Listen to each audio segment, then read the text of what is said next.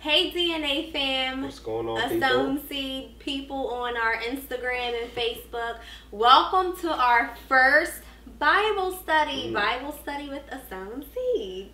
Uh-oh, something new. I'm so excited about this.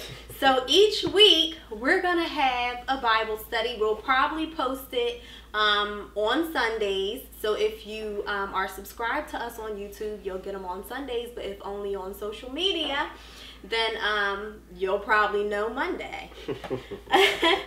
okay, so today we're going to um, read the title. Well, the title to the scripture is Jacob Wrestles with God. And we are reading from Genesis 32 24 to 31. Yeah. All right, make sure you have your Bibles, your pencil, Okay, your all right, paper, enough, whatever. enough, take enough. notes and All right, stop. let's go. Enough, enough. Just a quick backstory. We're going to focus on Jacob, and he's a character in the Bible. He had a twin brother, Esau, who was a little bit older than him. Uh, Jacob's name means trickster or liar, and there was a couple times that he tricked his brother in a moment of weakness to try to get something that he thought would make him wealthy. He also tricked his father and then ran away from home. And then years pass, he gets married, he starts a family, but his uncle actually starts tricking him and taking advantage of him. And he says, You know what? Let me leave this place and head back home. And so as he's coming back home, he actually remembers what he did to his brothers so many years ago and is overcome with fear. And now he's like, How do I face my family when I know I treated them so bad in the past and they may be still thinking so negatively towards me? So it brings us to the scripture today. Yes. So here we go Genesis 32 24. Yeah. And Jacob was left alone, and a man wrestled with him until the breaking of the day. Mm. When the man saw that he did not prevail against Jacob, he touched his hip socket, and Jacob's hip was put out of joint as he wrestled with him. Mm-hmm. Then he said, Let me go, for the day has broken. But Jacob said, I will not let you go unless you bless me. And he said to him, What is your name? And he said, Jacob. Then he said, Your name shall no longer be called Jacob, but mm-hmm. Israel. For you have striven with God and with men and have prevailed. Mm-hmm. Then Jacob asked him, Please tell me your name. But he said, Why is it that you ask my name? Right. And there he blessed him. Mm-hmm. So Jacob called the name of the place Peniel, Mm. saying, For I have seen enough. God face to face, and yet my life has been delivered. I'm going to ask questions that we you might want to know answers to hearing this for the first time, or if you haven't, you might want some clarification. And our expert here is No, no, gonna no, no, no. I want to just share what I know. Not saying I'm expert by no means. so um oh let's pray first, and then we'll ask the questions. Okay. Okay. All right, so Father, we just thank you for this platform of sharing your word and just sharing what you revealed to us. And for everyone watching and everyone reading, I pray, God, that you would open up their ears to hear and their hearts to receive what your word has spoken to our hearts. We bless you in Jesus' name. Amen. Amen. Okay, so I remember reading this, Mhm. and I asked the question, what does it mean that Jacob wrestled with God? Yeah. And then it says to the breaking of day. Why were they wrestling for this long? And um and if if it was God or an angel, like wouldn't wouldn't God win over Jacob? Mhm. Like why would he be wrestling this long? And then another question is oh my gosh. why was Jacob keeping him there and to bless him how? Okay. So you want me to answer all those questions? Answer all of them. All right, so when we read the Old Testament, eh, there's a historical context to it, so we can say, okay, this man had an encounter with God or an angel of God, and he was wrestling, and so there was physical pieces to that where he said, "I won't let you go." So they, we know that they were holding on. But when I studied this and prayed about it, uh, see that there's another layer to it. It's kind of like uh, imagery.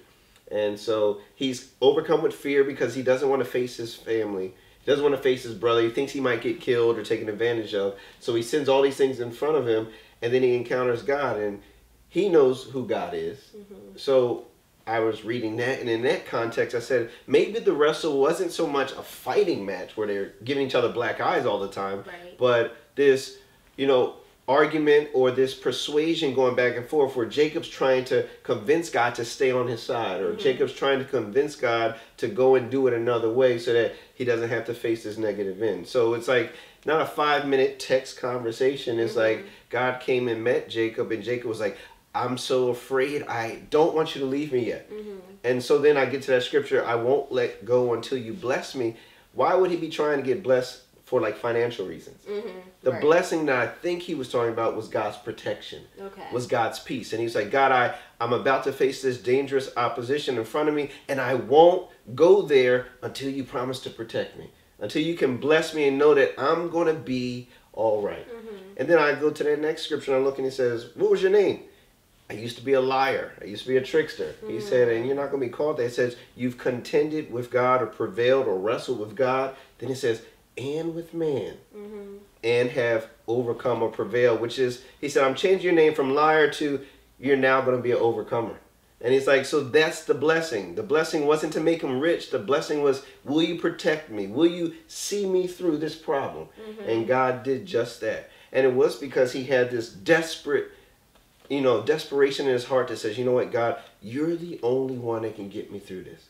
He said, I've sent my family ahead of me. I sent my money ahead of me. I sent all my belongings ahead of me. God, it's only you that can protect me, and I'm going to hold on until you do. And I believe that's what this whole experience was really about, what this wrestling mm-hmm. match was about. Now, of course, the Bible says that he hit him in the hip. Mm-hmm. Might be a cheap shot, gave him a little handicap. But I think that's also to signify something deeper.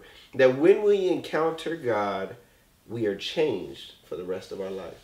There's a scripture later in that passage that Ashley read. It said that he limped, which means that his walk was forever altered mm-hmm. because of an encounter with God. Wow. And when I think about us, you know, I think about, okay, we face moments of fear, we face moments of being down and afraid, and it's like, who do we run to? Mm-hmm. You know, Jacob, he was in the middle of nowhere, he's and God came to him. It's like, who are we wrestling with? And I remember WWF or now WWE, they had tag team wrestling matches. It's like when you're really wrestling with something in your heart, who's your tag team partner? Mm-hmm. And then also, he said Peniel or Peniel, or it's mm-hmm. called the face of God. And that's the place where he wrestled and encountered God. So when you're in your fear or your doubt or your worry, where's the place that you're run, running to? And if you look at the story of Jacob, every answer was God.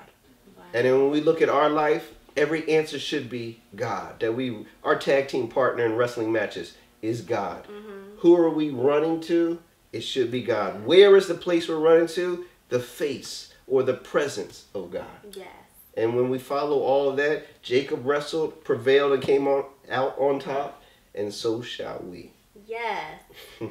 Well, that was so good. That was a good word. Yeah. Um, I think you answered all my questions. Oh, well, that's good. but if you have any questions, um, reading this scripture, any kind of comments, questions, whatever, mm-hmm. um, you can comment below.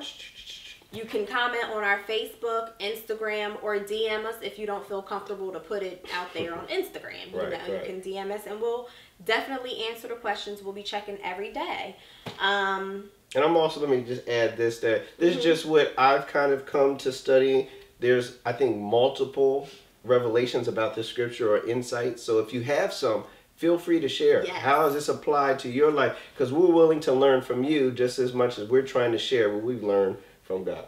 Absolutely. Let's yeah. talk about it. Let's have a Bible study. um, so I guess that concludes our first Bible study. I hope you enjoyed it. I hope you got something out of it. Yeah. And um, we're going to keep going. So uh, we'll see you next time. We love you. Don't forget to subscribe and see you later. God bless. See you next time.